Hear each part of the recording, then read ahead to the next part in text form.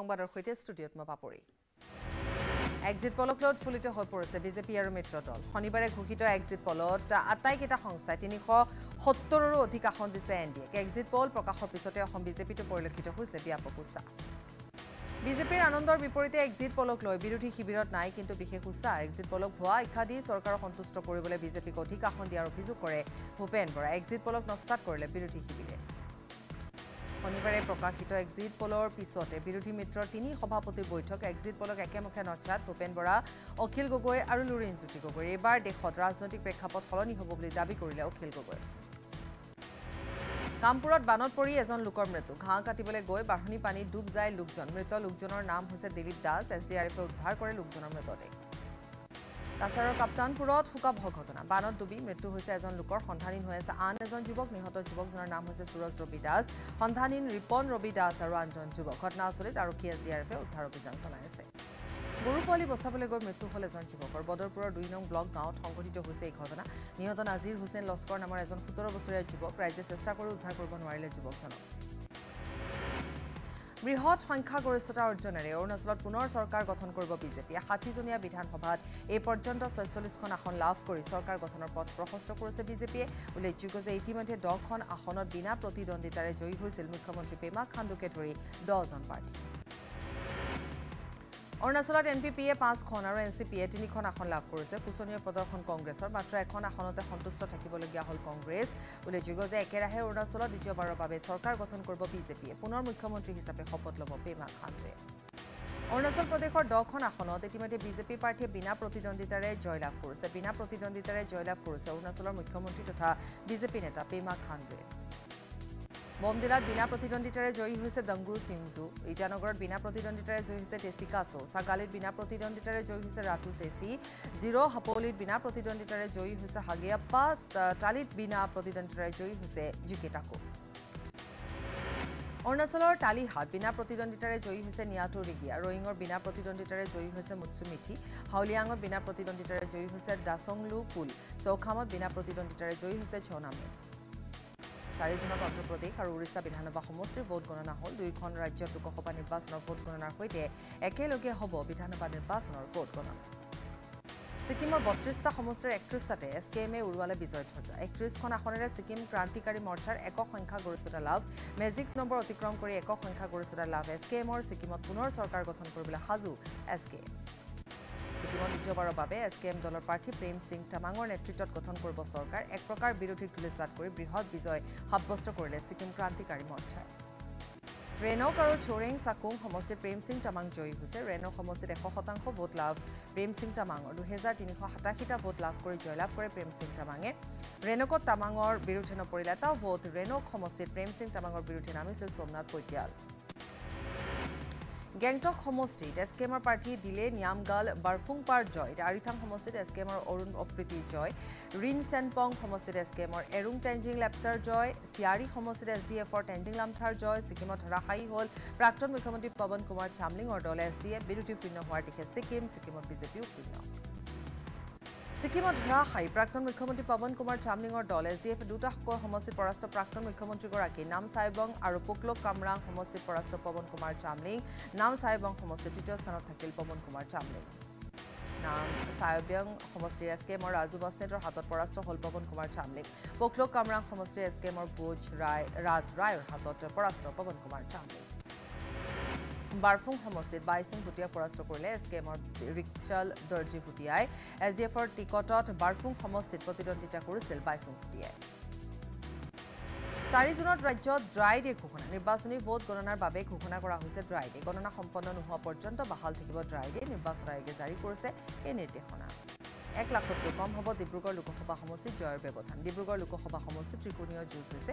এই মন্তব্য কৰিছে ডিব্ৰুগড়ৰ আপৰ প্ৰাৰ্থী মনোজ ধানোৱাৰে ইফালে ধানোৱাৰৰ মতে ডিব্ৰুগড়ৰ প্ৰতিটো দলে তিনি লাখ ভোট পাব আৰু যিটো দলে চাৰি লাখ পঞ্চাছ হাজাৰ ভোট পাবলৈ সক্ষম হ'ব সেই দলে জয়ী হ'ব। বিজেপি মিত্ৰজোঁটে বৰপেটাকে ধৰি দহ যোগ এক এঘাৰখন আসন লাভ কৰাৰ দাবী কৰিছে পৃথ্বীৰাজ ৰাভাই। আনহাতে এক্সিট পল অনুসৰি কেন্দ্ৰত আগন্তুক পাঁচ বছৰলৈ পুনৰ এন ডি এ চৰকাৰ গঠন হ'ব বুলি মন্তব্য কৰি কয় যে ধুবুৰী আসন এইবাৰ আন দলৰ হাতলৈ যাব। এক্সিট পলৰ সমীক্ষাক লৈ বিধায়ক অখিল গগৈ প্ৰতিক্ৰিয়া প্ৰকাশ। এক্সিট পলে অসমৰ যিখন ছবি দেখুৱাইছে সেইখন অবাস্তৱ। অসমৰ ক্ষেত্ৰত বিৰোধীয়ে ছখন আসন লাভ কৰিবলৈ কৰিব বুলি দাবী কৰিছে অখিল গগৈ। তদুপৰি সমগ্ৰ দেশতে এক্সিট পলত এন ডি এ তিনি সৰু অধিক আসন লাভ কৰিব বুলি যি তথ্য দাঙি ধৰিছে সেয়া সঁচা নহয় বুলিও ক'লে অখিল গগৈ। ঢকুৱাখনাৰ সাপতীয়াত সংঘটিত হৈছে শিহৰণকাৰী হত্যাকাণ্ড। বিজেপি নেতাক শিৰচ্ছেদ কৰি জ্বলাই দিলে মৃতদেহ। নিজ ঘৰৰ পৰা মাত্ৰ তিনিশ মিটাৰ নিলগত উদ্ধাৰ হৈছিল। জল জীৱন মিছনৰ ঠিকাদাৰ তথা বিজেপি ঢকুৱাখনা মণ্ডল কিষাণ মৰ্চাৰ সাধাৰণ সম্পাদক সুনীল গগৈৰ অৰ্ধদগ্ধ মৃতদেহ। অৱশ্যে এই পৰ্যন্ত আৰক্ষীয়ে উদ্ধাৰ কৰিব পৰা নাই। সুনীল গগৈৰ চিহ্নমুণ্ড সুনীল গগৈৰ উদ্ধাৰ হোৱা মৃতদেহত নাছিল সুনীল গগৈৰ মুণ্ড। এই ঘটনা পোহৰলৈ অহাৰ পিছতে ব্যাপক চাঞ্চল্য অব্যাহত আছে অঞ্চলটোত। কিছুদিন পূৰ্বে জনস্বাস্থ্য কাৰিকৰী বিভাগৰ অভিযন্তা জয়ন্ত গোস্বামীক আশী লাখ টকাসহ গ্ৰেপ্তাৰ কৰিছিল দুৰ্নীতি নিবাৰণ শাখাই। এই গ্ৰেপ্তাৰত সুনীল গগৈৰ হাত আছিল বুলি সন্দেহ কৰি দুৰ্বৃত্তই নৃশংসভাৱে হত্যা কৰিলে বুলি বিভিন্ন মহলে অভিযোগ আনিছিল দেওবাৰে পুৱাই ঘটনাস্থলীত উপস্থিত হৈছেগৈ আৰক্ষী অৰ্ধসামৰিক বাহিনীৰ লগতে ফৰেন্সিকৰ দল। ইফালে ঢকুৱাখনাৰ সাপতীয়াৰ ঘটনাস্থলী পৰিদৰ্শন কৰিছে শিক্ষামন্ত্ৰী ডক্টৰ ৰণোজ পেগুৱেও সুনীল গগৈ হত্যাকাণ্ড এতিয়া সমগ্ৰ ৰাজ্য কঁপাই তুলিছে। ইতিমধ্যে ঘটনাৰ তদন্তৰ বাবে হত্যাকাণ্ডস্থলীত উপস্থিত হৈছেগৈ চি আই ডিৰ দল। চি আই ডিৰ আই জি পি সঞ্যুক্ত পৰাশৰৰ নেতৃত্বত যোৱা তদন্তকাৰী দলে অনুসন্ধান আৰম্ভ কৰিছে। ঘটনাস্থলীত উপস্থিত হৈছে তদন্ত কৰিছে কেইবাগৰাকীও শীৰ্ষ আৰক্ষী বিষয়াই। ঘটনাস্থলীত উপস্থিত হৈ চি আই ডি দলে তদন্ত কৰিছে যদিও চিহ্নমুণ্ড তথা হত্যাকাৰী দলটোক কিন্তু এতিয়ালৈকে বিচাৰি উলিয়াবলৈ সক্ষম হোৱা নাই। এতিয়াও চিহ্ন চিহ্নমুণ্ড উদ্ধাৰ হোৱা নাই। লখিমপুৰত বিজেপি কিষাণ মৰ্চাৰ সম্পাদক ঠিকাদাৰক হত্যা কৰা কাণ্ডক লৈ বিধায়ক অখিল গগৈ তীব্ৰ প্ৰতিক্ৰিয়া। আইন শৃংখলা যে অৱনমিত হৈছে সেই ছবিখন পুনৰ উদঙাই দিছে। এই অভিযোগ আনিছে অখিল গগৈয়ে। হত্যাকাণ্ডৰ উচিত তদন্ত কৰি দোষীৰ বিৰুদ্ধে কঠোৰ ব্যৱস্থা ল'বলৈ দাবী জনাইছে অখিল গগৈয়ে। এ পি এছ চি কেলেংকাৰীত পুনৰ এজনক নিলম্বন। চাকৰিৰ পৰা নিলম্বন। ৰাজপত্ৰিত বিষয়া মৃদুল হাজৰিকা। দুহেজাৰ তেইছ বৰ্ষৰ সহকাৰী নিয়োগ বিষয়া মৃদুল হাজৰিকা। পূৰ্বে নিলম্বনৰ তালিকাত আছিল একৈছগৰাকী বিষয়া। পৰৱৰ্তী সময়ত তালিকাত যোগ হ'ল মৃদুল হাজৰিকাৰ নাম। এ পি এছ চি কেলেংকাৰীত বাইছগৰাকী বিষয়াৰ বিৰুদ্ধে ন্যায়ালয়ত এছ আই টিয়ে দাখিল কৰিব সম্পূৰ্ণ অভিযোগনামা। দুহেজাৰ তেইছ তেৰ বৰ্ষতে মৃদুল হাজৰিকাৰ ভগ্নী অনিতা কোঁৱৰেও পাইছিল এ পি এছ কিন্তু বৰ্তমানলৈকে তদন্তৰ আওতালৈ অহা নাই অনিতা কোঁৱৰ। তেৰ মেত পি এইচ চিৰ এজন দুৰ্নীতিগ্ৰস্ত অভিযন্তাক গ্ৰেপ্তাৰ কৰাত সহায় কৰিছিল সুনীল গগৈ। ঢকুৱাখনাৰ ঘিলামৰা জনস্বাস্থ্য কাৰিকৰী বিভাগৰ কাৰ্যবাহী অভিযন্তা জয়ন্ত গোস্বামী হাতেলোতে ধৰা পৰিছিল উৎকোচ লোৱাৰ অভিযোগত নিলম্বন কৰা হৈছে জয়ন্ত গোস্বামী। দুৰ্নীতিগ্ৰস্ত অভিযন্তা জয়ন্ত গোস্বামীক নিলম্বন কৰাৰ আখিজৰ বাবে সুনীল গগৈক হত্যা কৰাৰ সন্দেহ কৰিছে পৰিয়ালবৰ্গই সুনীল গগৈ প্ৰাণী মৰাৰ ভাবিকো দিছিল বুলিও অভিযোগ আনিছে পত্নীয়ে। বেলতলা কাণ্ডৰ মূল অভিযুক্ত গ্ৰেপ্তাৰ কৰা হৈছে। অমিত ভৌমিকক গ্ৰেপ্তাৰ কৰিছে দিছপুৰ আৰক্ষীয়ে বহিৰাজ্যত আত্মগোপন কৰি আছিল অমিত ভৌমিকে। এগৰাকী যুৱতীক চুৰিকাঘাত কৰিছিল অমিতে। ঘটনাৰ পিছৰে পৰা পলাতক হৈ আছিল অমিত। প্ৰেমিকৰ সহযোগত হাবিলদাৰ স্বামীক নৃশংসভাৱে হত্যাৰ অভিযোগ পৰিয়ালৰ লোকৰ। জালুকবাৰী থানাৰ যান বাহন শাখাৰ হাবিলদাৰ খগেন বৰ্মনক হত্যা কৰি আত্মহত্যাৰ ৰূপ দিয়াৰ অভিযোগ তুলি ঘটনাৰ তদন্ত বিচাৰি এজাহাৰ দাখিল কৰিছে পৰিয়ালে। হাবিলদাৰ খগেন বৰ্মনক হত্যা কৰাক লৈ এজাহাৰ দাখিল এমাহৰ পিছতো গীতানগৰ আৰক্ষীয়ে গোচৰ ৰুজু নকৰাৰ গুৰুতৰ অভিযোগ উত্থাপন হৈছে। এই ঘটনা সংঘটিত হৈছে মহানগৰীৰ অম্বিকাগিৰি নগৰত ভুক্তভোগীয়ে খগেন বৰ্মনৰ হত্যাৰ তদন্ত বিচাৰি মুখ্যমন্ত্ৰী আৰু ডি জি পিৰ হস্তক্ষেপ বিচাৰিছে। শূন্যলৈ গুলী চলাই ৰঙাপাৰাত মিছামাৰী আৰক্ষী খেদি খেদি আটক কৰিলে এটা গাঞ্জা সৰবৰাহকাৰী। বাইছ কেজি গাঞ্জাসহ আটক বাঁহবেৰাৰ ৰমজান আলী নামৰ সৰবৰাহকাৰীটো ধৃত সৰবৰাহকাৰীটোৰ পৰা জব্দ হৈছে এখন বাইক। মানকাছৰত সামাজিক মাধ্যমত চিনাকি হৈ প্ৰথমে প্ৰেম তাৰপিছত প্ৰেমিকক অপহৰণ অপহৃত প্ৰেমিক চুকুম আলীৰ পৰিয়ালক পাঁচ লাখ টকাৰ ধন দাবী হুজৰা বেগম নামৰ যুৱতীগৰাকীৰ লগতে আন দুই সহযোগী শ্বাহানুৰ মোল্লা জাহিদুৰ ইছলামক দক্ষিণ শালমৰা বন্দীখানা আৰক্ষীয়ে আটক কৰিছে। দুধনৈ আৰক্ষীক চোৰৰ চেলেঞ্জ দুধনৈ ছদিনীয়া ছদিনত চাৰিখনকৈ দুচকীয়া বাহন চুৰি হৈছে। শনিবাৰে নিশা দুখনকৈ স্কুটি চুৰিৰ ঘটনাই সৃষ্টি কৰিছে তীব্ৰ চাঞ্চল্যৰ। দুধনৈ ডামৰা ৰোডৰ চি আৰ পি এফ কেম্পৰ পৰা মাত্ৰ এশ মিটাৰ আঁতৰত সংঘটিত হৈছে চুৰিকাণ্ডৰ ঘটনা। মৈৰাবাৰী লেংৰিবৰী গাঁৱৰ পৰা এজন চৈধ্য বছৰীয়া কিশোৰ নিৰুদ্দেশ হৈছে নিৰ্দিষ্ট কিশোৰজন ছাইদ আফ্ৰিদি ওৰফে বাবু। শুকুৰবাৰে বিয়লি ঘৰৰ পৰা নিৰুদ্দেশ হৈ আহিছে কিশোৰজন। ঘটনা সন্দৰ্ভত পৰিয়ালৰ লোকে থানাত দাখিল কৰিছে এজাহাৰ। তামোলপুৰ কচুবাৰীস্থিত ঐতিহ্যমণ্ডিত শ্ৰী শ্ৰী গোপাল আৰু জগন্নাথ থান সত্ৰত চুৰিকাণ্ড মণিকূটৰ দুৱাৰ ভাঙি চোৰে লুটি নিলে আঢ়ৈ কেজি ওজনৰ ৰূপৰ গোপালৰ মূৰ্তিৰ লগতে ভক্তই আগবঢ়োৱা সোণৰ ফুল দুশটা আৰু ৰূপৰ ফুল তিনিশটা চি কেমেৰাত চুৰিকাণ্ডৰ সমগ্ৰ দৃশ্য। কৰিমগঞ্জৰ বাৰৈগ্ৰাম অঞ্চলৰ বাটেইয়া বজাৰত বৃহৎ পৰিমাণৰ গাঞ্জা জব্দ। নিলাম বজাৰ আৰক্ষীৰ অভিযানত টাপাদৰ ট্ৰেভেলছ এণ্ড কম্পিউটাৰ নামৰ দোকানখনৰ পৰা জব্দ আঠশ কেজি গাঞ্জা। এই ঘটনাত দোকানৰ স্বত্বাধিকাৰী মুস্তুফা আহমেদক আটক। বোকাজানত হেৰইনসহ আৰক্ষীৰ জালত পৰিছে এটা সৰবৰাহকাৰী বৰপথাৰ আৰক্ষীৰ খাকৰাজানস্থিত তালাচী অভিযানত জব্দ কৰা হৈছে প্ৰায় দুশ সত্তৰ গ্ৰাম হেৰইন। হেৰইনসহ আৰক্ষীৰ জালত অৰুণাচলৰ নামচাই প্ৰণৱ বৰুৱা নামৰ সৰবৰাহকাৰীটো জব্দকৃত। হেৰইনখিনিৰ মূল্য হৈছে পঁচপন্ন লাখ টকা। মানকাছৰৰ টেবুলপাৰা কালু নদীত এটা অচিনাক্ত মৃতদেহ উদ্ধাৰ। শনিবাৰে নিশা কালু নদীৰ প্ৰচণ্ড সোঁতত মৃতদেহটো উপঙি থকা অৱস্থাত স্থানীয় ৰাইজে প্ৰত্যক্ষ কৰে। পাছত স্থানীয় ৰাইজে এই ঘটনা সন্দৰ্ভত কালাপানী আৰক্ষীক খবৰ দি মৃতদেহটো উদ্ধাৰ কৰে। দৰঙৰ ধোলাত নজনীয়া দলে আক্ৰমণ কৰিলে এজন লোকক কেৱত গাঁৱত এগৰাকী নাবালিকাক বিয়া কৰাবলৈ আলোচনা চলি থাকোঁতে নৌচাদ আলী নামৰ লোকজনে বাধা প্ৰদান কৰিছিল। ইয়াকে লৈ নৌচাদ আলী নামৰ লোকজনক বেয়াকৈ মাৰপিট কৰাৰ অভিযোগ আত্মীয়ৰ? ঘটনা সন্দৰ্ভত ধোলা আৰক্ষী থানাত এজাহাৰ দাখিল। হাতীগাঁও আৰক্ষীৰ জালত দুটা দুধৰ্ষ ডকাইত। অৰুণাচলৰ বিভিন্ন স্থানত চুৰি ডকাইতিৰ লগতে বিভিন্ন অপৰাধেৰে জড়িত আছিল ধৃত দুই ডকাইত। শনিবাৰে পুৱতি নিশা বেহাৰ বাৰীৰ পৰা গ্ৰেপ্তাৰ হোৱা ডকাইত দুটা শালবাৰী মৃগেন ডেকা আৰু গোৰেশ্বৰৰ পৰেশ ডেকা। কুচাই গাঁৱৰ বাৰবাৰী কালী মন্দিৰ আৰু শিৱ মন্দিৰত চোৰে চলালে লুটপাত মন্দিৰৰ তলা ভাঙি চোৰে লুটি নিলে নগদ আ নগদ টকা আ অলংকাৰ। একেলগে দুটাকৈ মন্দিৰত সংঘটিত চুৰিকাণ্ডৰ ঘটনাই চিন্তিত কৰি তুলিছে অঞ্চলটোৰ ৰাইজক। হোজাৰ হাম হাস্পতালত পুনৰ উত্তেজনা। ৰোগীক ভুল চিকিৎসাৰ অভিযোগত হাস্পতালখনৰ চিকিৎসক ডাক্তৰ ৰমেন কুমাৰ বৈশ্যৰ বিৰুদ্ধে থানাত গোচৰ ভুক্তভোগী পৰিয়ালৰ। ৰোগীৰ বৃক্কৰ পৰা পাথৰটো উলিয়াই দিয়াৰ নামত ভুল চিকিৎসা কৰাৰ অভিযোগ চিকিৎসকগৰাকীৰ বিৰুদ্ধে। খবৰ আৰু আছে সময় বিৰতি।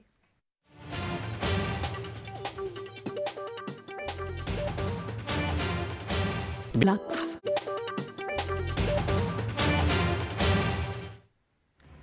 স্নাতক পৰীক্ষাৰ মাৰ্কশ্বিটৰ নম্বৰ জালিয়াতিৰে বঢ়াই আটক স্নাতক বৰ্ষৰ এজন ছাত্ৰ। বৰপেটা ৰোড গণেশলাল চৌধুৰী মহাবিদ্যালয়ত সংঘটিত হৈছে এই ঘটনা। আজিজুল হক নামৰ ছাত্ৰজনে স্নাতক পৰীক্ষাৰ নম্বৰ জালিয়াতিৰে বৃদ্ধি কৰাৰ পাছতে মহাবিদ্যালয় কৰ্তৃপক্ষই অভিযুক্ত ছাত্ৰক গতালে আৰক্ষীক। কাছাৰত ন কোটি পঞ্চাছ লাখ টকাৰ ড্ৰাগছ জব্দ। আৰক্ষীৰ জালত ছটা ড্ৰাগছ সৰবৰাহকাৰী এশ পঞ্চাছটা চাবোনৰ বাকচত আনিছিল ঊনৈছশ কিলোগ্ৰাম ড্ৰাগছ মণিপুৰৰ চোৰাচান্দপুৰৰ পৰা সৰবৰাহ কৰিছিল বুজন পৰিমাণৰ ড্ৰাগছ এই ঘটনাত আৰক্ষীয়ে এখন স্কুটি আৰু এখন চাৰিচকীয়া বাহন জব্দ কৰিছে। বিগত চাৰিদিন ধৰি সন্ধান নাই কলিয়াবৰৰ চিকনি বৰহোলাৰ কলবস্তিৰ দুই সন্তানৰ মাতৃ মাৰফুজা খাতুনৰ। বুধবাৰে জখলাবন্ধাৰ এটি বেংকলৈ বুলি ঘৰৰ পৰা ওলাই গৈছিল মহিলাগৰাকী। তাৰ পাছৰ পৰা সন্ধান নাই মাৰফুজা খাতুন নামৰ মহিলাগৰাকীৰ। বিগত তিনিদিন ধৰি নিৰুদ্দেশ তিনিচুকীয়াৰ পাঙেৰি তৰাণীৰ এজন যুৱক বৃহস্পতিবাৰে বহিৰাজ্য কেৰালালৈ কৰ্মসংস্থাপনৰ বাবে ঘৰৰ পৰা ওলাই গৈ সন্ধানহীন হৈ পৰে উজ্জ্বল বৰুৱা নামৰ যুৱকজন। নিৰুদ্দেশ সম্পৰ্কত পেঙেৰি থানাত এজাহাৰ দাখিল কৰা হৈছে। নলবাৰী ৰাজাঘাট বানেকুচিৰ পানী যোগান আঁচনিৰ সামগ্ৰী চুৰি নিম্নমান পানী যোগান আঁচনিৰ পৰা চোৰে চুৰি কৰি নিলে প্ৰায় লক্ষাধিক টকাৰ পাইপ। আঁচনিটোৰ কাম চলি থকাৰ মাজতে নিশা চুৰি হৈছে পাইপসমূহ এইবাৰ শোণিতপুৰ পটীয়া পুখুৰীত অনুষ্ঠিত হ'বলগীয়া উপহাৰ কুপনৰ খেলৰ টিকট বিক্ৰী কৰি থকা এজেণ্টক খেদিলে ৰাইজে। লণ্ডভণ্ড কৰিলে টিকট কাউণ্টাৰ। দেওবাৰে পুৱাই নগাঁৱৰ নেহেৰুবালিত সৃষ্টি হৈ উত্তপ্ত পৰিস্থিতিৰ ৰাস মন্দিৰ নিৰ্মাণৰ নামত নগাঁৱৰ কলংপাৰ হালোৱা গাঁৱত চৰম প্ৰবঞ্চনাৰে উপহাৰ কুপনৰ খেল পতাৰ অভিযোগ। ৰাস মন্দিৰৰ নামত উপহাৰ কুপনৰ খেল পাতি ৰাইজক প্ৰবঞ্চনা কৰি একাংশই ধন আত্মসাত কৰাৰ অভিযোগ স্থানীয় ৰাইজৰ সন্দৰ্ভত আৰক্ষী আৰু প্ৰশাসন নীৰৱ হৈ থাকিলেও আয়কৰ বিভাগে জাননী প্ৰেৰণ কৰিছে কলংপাৰ হালোৱা গাঁৱত ৰাস মন্দিৰৰ নামত উপহাৰ কুপনৰ খেল আয়োজন কৰা কমিটিলৈ। কমিটিয়ে উপহাৰসমূহ কোন কোন লোকক প্ৰদান কৰিছে তাৰ তথ্য বিচাৰিছে যদিও বৰ্তমানলৈকে আয়কৰ বিভাগক সেইসমূহ তথ্য দিব পৰা নাই আয়োজকে। ক্ৰমাৎ হ্ৰাস পাইছে হোজাইৰ বান পৰিস্থিতি। শনিবাৰৰ পৰা হোজাইৰ কপিলি যমুনা আৰু নিশাৰী নৈৰ জলপৃষ্ঠ হ্ৰাস পাবলৈ ধৰিছে। দেওবাৰে হোজাই বান সন্দৰ্ভত এই কথা জনালে জিলা আয়ুক্ত লাচিত কুমাৰ দাসে। হোজাই তেপন্নখন গাঁও এতিয়া পানীৰ তলত। বানত প্লাৱিত জিলাখনত বৰ্ণাঢ্যসকলৰ বাবে বাষষ্ঠিটা অস্থায়ী শিবিৰ স্থাপন কৰা হৈছে। ইতিমধ্যে এই অস্থায়ী শিবিৰত চৌৰাল্লিছ হাজাৰ চাৰিশ ঊনআশীজন লোকে আশ্ৰয় ল'বলগীয়া হৈছে। বানৰ বাবে অস্থায়ী শিবিৰত থকা বৰ্ণাঢ্যসকলক খাদ্য সামগ্ৰীৰ যোগান ধৰিছে জিলা প্ৰশাসনে। মানকাছৰত বানৰ সংহাৰী ৰূপ বাঢ়নি পানী উটুৱাই নিলে দুখনকৈ দলং। মেঘালয়ৰ পৰা নামি অহা পানীৰ ঢলে উটুৱাই নিলে দলং। বানত দুখনকৈ দলং উটি যোৱাৰ ফলত এতিয়া যাতায়াত ব্যৱস্থা ব্যাহত হৈ পৰিছে। হোজাইত বান পৰিস্থিতি পৰিদৰ্শন কৰিলে মন্ত্ৰী পীযুষ হাজৰিকাই। দেওবাৰে বিষ্ণুপুৰ অঞ্চলৰ বান পৰিস্থিতি পৰিদৰ্শন কৰে মন্ত্ৰী পীযুষ হাজৰিকা। বিধায়ক ৰামকৃষ্ণ ঘোষৰ লগতে শীৰ্ষ বিষয়াসকলে। লগতে মথাউৰি সন্দৰ্ভত বিভাগীয় বিষয়াৰ পৰা বুজ ল'লে পৰিস্থিতি। শিলচৰত বানৰ সন্ধানহীন প্ৰাক্তন আৰক্ষী বিষয়া সন্ধানহীন প্ৰাক্তন S S I Tarini Mohan Das গা ধুবলৈ পথাৰৰ বানত নামিছিল। লোকজন বৰখলাৰ কালীনগৰত সংঘটিত হৈছে ঘটনাটো এছ ডি আৰ এফে এতিয়া অভিযান চলাই আছে। ৰহাৰ ৰহাচকীত হুৰাহুৰে সোমাইছে কলঙৰ পানী। ৰহাৰ বানাক্ৰান্ত অঞ্চল পৰিদৰ্শন কৰিলে নগাঁও জিলা আয়ুক্ত। আৰু কলঙৰ বাঢ়নি পানীৰ ফলত ৰহাচকীত পলকতে বহি গৈছে মথাউৰি তথা মূল পথ। দেওবাৰে মথাউৰি অঞ্চল পৰিদৰ্শন কৰি ইতিমধ্যে ইয়াৰ প্ৰতিৰোধৰ যাৱতীয় ব্যৱস্থা লোৱা হৈছে বুলিও জানিবলৈ দিলে নগাঁও জিলা আয়ুক্তগৰাকীয়ে। শিলচৰৰ বানপীড়িত অঞ্চলত ন মডেল সাহায্য শিবিৰ মুকলি কৰা হৈছে। কাছাৰ জিলা প্ৰশাসনে মুকলি কৰিছে সাহায্য শিবিৰকেইটা শিশু আৰু মহিলাৰ চিকিৎসা সম্পৰ্কত বিশেষ গুৰুত্ব দিয়া হৈছে শিবিৰকেইটাত উত্তৰ গুৱাহাটীত মাণ্ডাকাটাত পুনৰ ভূমিস্খলন বৰষুণত পাহাৰৰ ৰঙামাটি খহি কেইবাটাও পৰিয়ালৰ ঘৰৰ চোতাল বোকামাটিয়ে পুতি পেলায়। একাংশ দুষ্ট চক্ৰই পাহাৰৰ মাটি কটাৰ বাবে ভয়াৱহ পৰিস্থিতিৰ সৃষ্টি হৈছে। জিলা পথাৰৰ জোনাই সংযোগী পথৰ দুৰৱস্থা জোনাই সংযোগী পথৰ জোনাকী নগৰৰ পথটো দীৰ্ঘদিনে মেৰামতি নোহোৱাত মৰণ ফান্দলৈ পৰ্যবেক্ষিত হৈছে। এককাল পানী আৰু গেলা পচা বোকাৰে ভৰি পৰা পথটো মেৰামতিৰ নামত জনপ্ৰতিনিধি আৰু পৌৰসভাই চৰম অৱহেলা কৰাৰ অভিযোগ। বাক্সাৰ সাউদৰ ভিঠা গোবৰ্ধনা বৰপেটা ৰোড সংযোগী পথৰ দুৰৱস্থা জৰাজীৰ্ণ পথছোৱাত সৃষ্টি হৈছে প্ৰকাণ্ড প্ৰকাণ্ড গাঁতৰ। দৈনিক ছাত্ৰ ছাত্ৰীকে ধৰি হাজাৰ হাজাৰ লোক অহা যোৱা কৰা এই পথছোৱাত দীৰ্ঘদিন ধৰি চৰকাৰে মেৰামতি নকৰাৰ অভিযোগ জৰাজীৰ্ণ পথছোৱাত নিতৌ সংঘটিত হৈ আহিছে। এটাৰ পাছত আনটো দুৰ্ঘটনা। গহপুৰৰ ব্ৰহ্মজান নদীৰ বাঢ়নি পানীয়ে বুঢ়াইছে দুই নং যোগীবাৰী অঞ্চল। বাৰিষাৰ ছটা মাহে পানী বুৰ গৈ থাকে সমগ্ৰ অঞ্চলটো। ব্ৰহ্মজান নদীৰ বাঢ়নি পানীৰ মাজেৰে অঞ্চলটোত ৰাইজে কৰিবলগীয়া হৈছে যাতায়াত। স্থানীয় বিধায়কে আজিলৈকে পথছোৱা উপস্থিত হৈ মেৰামতিৰ বাবে ব্যৱস্থা নোলোৱাৰ অভিযোগ। পুনৰ বন্ধ হ'ল গুৱাহাটী উত্তৰ গুৱাহাটীৰ মাজৰ ফেৰী সেৱা। দেওবাৰে ব্ৰহ্মপুত্ৰৰ জলপৃষ্ঠ বৃদ্ধি হোৱাৰ বাবে ফেৰী সেৱা বন্ধ ঘোষণা আভ্যন্তৰীণ জল পৰিবহণ বিভাগৰ। ফেৰী সেৱা বন্ধ কৰাত চৰম অসুবিধাত পৰিছে যাত্ৰীসকল। পাঁচদিনৰ অন্তত শনিবাৰে আৰম্ভ কৰিছিল ফেৰী সেৱা। জাগিৰোডৰ চাৰাংকুচিত বন্যহস্তীৰ উপদ্ৰৱ। কৃষ্ণমতী বাংঠাই নামৰ লোকজনৰ বাসগৃহত বনৰীয়া হাতীৰ আক্ৰমণ বন্যহস্তীৰ জাকে ভাঙি লণ্ডভণ্ড কৰিলে। ঘৰৰ দেৱাল দুৱাৰৰ লগতে ভঁৰাল ঘৰ। লগতে খাই তহিলং কৰিলে ঘৰৰ চাউল। ভঁৰালৰ ধান কথমপি প্ৰাণ ৰক্ষা গৰাকীৰ মৰিয়নী নাগিনীজানত চলিল আফ্ৰিকান ছোৱাইন ফিভাৰত আক্ৰান্ত গাহৰি নিধন অভিযান। দেওবাৰে পুৱা বাগিচাখনৰ ন নম্বৰ লাইনত পশুপালন বিভাগ জিলা প্ৰশাসন আৰু আৰক্ষীৰ বৃহৎ দলে চলোৱা এই অভিযানত গাহৰি পালকসকলে বাধা প্ৰদান কৰাত উত্তপ্ত পৰিস্থিতিৰ সৃষ্টি হয়। দেওবাৰৰ দিনটো পথাৰত খেতিয়কৰ ৰূপত দেখা গ'ল কৃষিমন্ত্ৰী অতুল বৰা। গোলাঘাটৰ বৰাহী গাঁৱৰ নিজৰ খেতি পথাৰত ট্ৰেক্টৰেৰে মাটি চহাই কৃষি কৰ্মত ব্যস্ত থকা দেখিবলৈ পোৱা গ'ল কৃষিমন্ত্ৰীগৰাকী। চাহ বাগিচাত ৰাসায়নিক দ্ৰব্যৰ ব্যৱহাৰৰ নামত ৰাজনীতি কৰাৰ অভিযোগ কলকাতাস্থিত টি বৰ্ডৰ বিৰুদ্ধে। থলুৱা বিৰোধী স্থিতি লৈ চাহ বৰ্ডে ক্ষুদ্ৰ চাহ খেতিয়কক পেটে ভাতে মাৰিব বিচাৰিছে বুলিও অভিযোগ আনে। দেওবাৰে স্বৰ্গীয় বীৰবালা ৰাভাৰ ৰাজহুৱা শ্ৰদ্ধাঞ্জলি আৰু আদ্য শ্ৰাদ্ধৰ আয়োজন কৰা হয়। বীৰবালা ৰাভাৰ মৃত্যুতিথি তেৰ মেৰ দিনটো অন্ধবিশ্বাস আৰু কুসংস্কাৰ বিৰোধী দিৱস হিচাপে পালন কৰিব ৰাভা হাছং সাহিত্য শাখিত পৰিষদে। উত্তৰ প্ৰদেশৰ ললিতপুৰ চহৰৰ পৰা চাইকেল চলাই তেজপুৰ প্ৰৱেশ কৰিলে মোহিত নিৰঞ্জন নামৰ যুৱকজনে মোহিতে তেৰ হাজাৰ কিলোমিটাৰ পথ চাইকেল চলাই ইতিমধ্যে চৈধ্য ৰাজ্য অতিক্ৰম কৰিছে। দেওবাৰে তেজপুৰত উপস্থিত হৈ এতিয়াও সোতৰ হাজাৰ কিলোমিটাৰ পথ অতিক্ৰম কৰিবলৈ বাকী থকাৰ কথাও উল্লেখ কৰিছে মোহিতে। অসম প্ৰদূষণ নিয়ন্ত্ৰণ পৰিষদৰ সোণালী জয়ন্তী বৰ্ষ। দেওবাৰৰ পৰা আৰম্ভ হোৱা এই সোণালী জয়ন্তী বৰ্ষ উপলক্ষে দাস বিমানতাত বিশেষ কাৰ্যসূচীৰ আয়োজন কৰা হৈছে। এই অনুষ্ঠানত উপস্থিত থাকে ৰাজ্য চৰকাৰৰ মুখ্য সচিব ৰবি কৌটাকে ধৰি কেইবাগৰাকীও গণ্যমান্য ব্যক্তি। নলবাৰী মেটাৰনিটি হাস্পতালৰ সোণালী জয়ন্তী বৰ্ষ উদযাপন আগন্তুক পাঁচ জুনত এদিনীয়া বৰ্ণাঢ্য কাৰ্যসূচীৰে অনুষ্ঠিত হ'ব সোণালী জয়ন্তী অনুষ্ঠান। পাঁচ জুনত চিকিৎসালয়খনলৈ চিকিৎসাৰ বাবে অহা ৰোগীৰ বাবে বিশেষ ৰেহাইৰ ব্যৱস্থা হস্পিটেল কৰ্তৃপক্ষৰ। জামুগুৰি হাটৰ টৌভঙা প্ৰাথমিক বিদ্যালয়ত সুধাকণ্ঠ সংগীত কলা বিদ্যালয় মুকলি আৰু এই বিদ্যালয়খন দেওবাৰে এগচি বন্তি প্ৰজ্বলনেৰে শুভাৰম্ভ কৰে। মহাবিদ্যালয়খনৰ অধ্যক্ষ গকুল সাহাই কাজিৰঙা ধুমুহাই তচনচ কৰিলে কেইবাটাও পৰিয়ালৰ বাসগৃহ। কাজিৰঙাৰ হালধিবাৰী অঞ্চলত শনিবাৰে নিশা অহা বতাহ ধুমুহাই সাতঘৰ লোকৰ ব্যস্ত ক্ষতি সাধন কৰে। ধুমুহাৰ ফলত দুটা ঘৰত প্ৰকাণ্ড গছ ভাঙি পৰাৰ লগতে আন পাঁচটা ঘৰত টিন পাত উৰুৱাই নিয়ে মৰিয়নী নাহৰ ফুটুকীৰ আতংক নাহৰ ফুটুকীৰ আক্ৰমণত পৰেশ তেলেংগা নামৰ এজন লোক গুৰুতৰভাৱে আঘাতপ্ৰাপ্ত হৈছে। কঁঠালগুৰি চাহ বাগিচাৰ দহ নং লাইনৰ নিবাসী পৰেশ তেলেংগা। ঘাঁহ কাটি থকাৰ সময়তে বাঘে পিছফালৰ পৰা আক্ৰমণ কৰে। তেলেংগাক গুৰুত্বভাৱে গুৰুতৰভাৱে আঘাতপ্ৰাপ্ত হৰেণ যোৰহাট চিকিৎসা মহাবিদ্যালয়ত ভৰ্তি। বিশ্ব চাইকেল দিৱস উপলক্ষে দেওবাৰে ৰেডিশ্যন ব্লুৰ পৰা উলিওৱা হয় চাইকেল ৰেলী। এই দিৱসৰ সৈতে সংগতি ৰাখি আৰক্ষী সঞ্চালক প্ৰধান জি পি সিং চিফ ছেক্ৰেটেৰীৰ অভিজ্ঞতাৰে চলালে চাইকেল। তিনি জুনত বিশ্বজুৰি পালন কৰা হ'ব। বাইচাইকেল দিৱস। শনিবাৰে ডিব্ৰুগড় বগীবিলৰ পৰা মহাবাহু ব্ৰহ্মপুত্ৰ যাত্ৰা আৰম্ভ কৰা বুমণি ওৰফে ধীৰাজ বিকাশ গগৈ দেওবাৰে উপস্থিত হৈহি শিৱসাগৰ দিখৌমুখৰ ব্ৰহ্মপুত্ৰৰ ঘাটত তিনি হাজাৰ তিনিশটা প্লাষ্টিক বটলেৰে নিৰ্মাণ কৰা নাৱেৰে এশ কিলোমিটাৰৰো অধিক জলপথ অতিক্ৰম কৰিছে বুমণিয়ে জটিল ৰোগত আক্ৰান্ত মেৰাপানীৰ এগৰাকী বৃদ্ধা বিগত চাৰি বছৰে দেহত কেঞ্চাৰ ৰোগ লৈ টকাৰ অভাৱত পৰি চিকিৎসাৰ পৰা বঞ্চিত হৈছে মায়াকলি গাঁৱৰ গগৈ নামৰ বৃদ্ধাগৰাকী। আৰ্থিক দৈন্যতাত ভোগা বৃদ্ধাগৰাকীয়ে পৰিয়ালে এতিয়া তেখেতৰ চিকিৎসাৰ বাবদ চৰকাৰৰ পৰা সহায় বিচাৰিছে। অসমত স্থাপন হ'ব। ভাৰতীয় ব্যৱস্থাপনা প্ৰতিষ্ঠান গুৱাহাটী পলাকবাৰীত আই আই এম স্থাপনৰ সিদ্ধান্ত।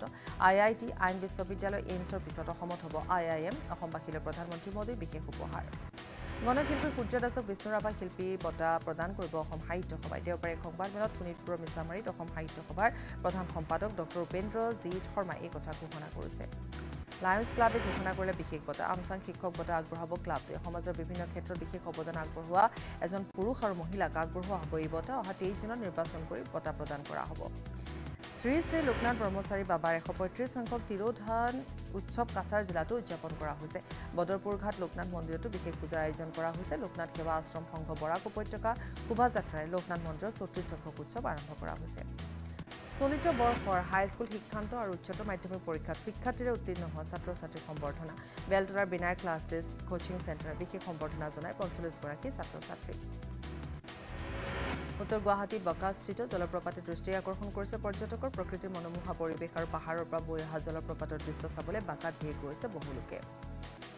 বোকাখাতত উমা চেত্ৰীক উষ্ম আদৰণি। ভাৰতীয় মহিলা ক্ৰিকেট দলত পুনৰ স্থান লাভ কৰাৰ বাবে বিশেষ সম্বৰ্ধনা উমা চেত্ৰীলৈ। বোকাখাত জিলা ক্ৰীড়া সন্থাৰ সভাপতি তথা কেবিনেট মন্ত্ৰী অতুল বৰাই সম্বৰ্ধনা জ্ঞাপন কৰে ক্ৰিকেটাৰগৰাকীক টি টুৱেণ্টি বিশ্বকাপ দুহেজাৰ চৌবিছৰ অভিযানৰ বাবে সাজু টীম ইণ্ডিয়া। পাঁচ জুনত নিউয়ৰ্কত আয়াৰলেণ্ডৰ বিৰুদ্ধে ভাৰতে খেলিব টি টুৱেণ্টি বিশ্বকাপ দুহেজাৰ চৌবিছৰ প্ৰথমখন মেচ।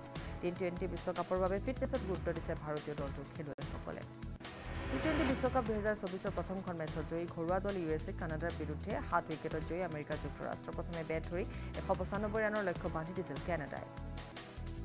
প্ৰধানমন্ত্ৰী মোদীৰ ধাৰাবাহিক বৈঠক দেওবাৰে সাতখনকৈ বৈঠকত ভাগ লৈ প্ৰধানমন্ত্ৰীগৰাকীয়ে ধাৰাবাহিক নিৰ্বাচনী প্ৰচাৰ শেষ কৰি কন্যাকুমাৰীত আঠচল্লিছ ঘণ্টীয়া ধ্যানৰ পাছতে কেইবাটাও বিষয়ত প্ৰধানমন্ত্ৰীৰ ধাৰাবাহিক বৈঠক।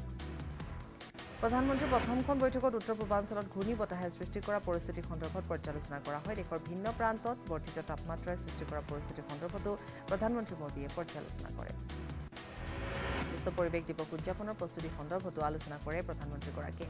দেওবাৰে এশ দিনৰ কৰ্মসূচী সন্দৰ্ভতো প্ৰধানমন্ত্ৰী মোদীৰ বৈঠকত আলোচনা কৰা হয়। পুনৰ কাৰাগাৰলৈ অৰবিন্দ কেজৰিৱাল। দেওবাৰে অন্ত পৰিছিল অন্তৰ্বৰ্তীকালীন জামিন। দহ মেত লাভ কৰিছিল অন্তৰ্বৰ্তীকালীন জামিন। নিৰ্বাচনী প্ৰচাৰ চলাবলৈ অন্তৰ্বৰ্তীকালীন জামিন দিছিল মুখ্যমন্ত্ৰীগৰাকীয়ে। কেজৰিৱালৰ জামিনৰ ম্যাদ বৃদ্ধি নকৰিলে ন্যায়ালয়ে। পঞ্জাৱত ভয়ংকৰ ৰেল দুৰ্ঘটনা। দুখন মালবাহী ৰেলৰ মাজত মুখামুখি সংঘৰ্ষ। এই ৰেল দুৰ্ঘটনাত আহত হৈছে দুজনকৈ লোক পাইলট আহত লোক পাইলটক হাস্পতালত ভৰ্তি কৰোৱা হৈছে। ৰাজধানী দিল্লীত তীব্ৰ পানীৰ সংকট। উৎকট গৰমৰ মাজতে এতিয়া এটুপি খোৱা পানীৰ বাবে হাহাকাৰ কৰিবলগীয়া হৈছে দিল্লীবাসীয়ে বাল্টি পানীৰ বাবে হেতা ওপৰা লগা অঞ্চলবোৰত প্ৰশাসনে গাড়ী যোগান ধৰিছে পানী। নিশা আৰক্ষীয়ে পথচাৰীক মাতি ভৰি মালিচ কৰিবলৈ দিয়া এটা ভিডিঅ' ভাইৰেল হৈছে সামাজিক মাধ্যমত। পুনেত সংঘটিত এই ভিডিঅ'টোৱে সম্প্ৰতি তোলপাৰ লগাইছে আৰক্ষী বিভাগটোত আৰু ইয়াৰে সৈতে দুটা সংবাদৰ পৰা বিদায় লৈছোঁ। নমস্কাৰ।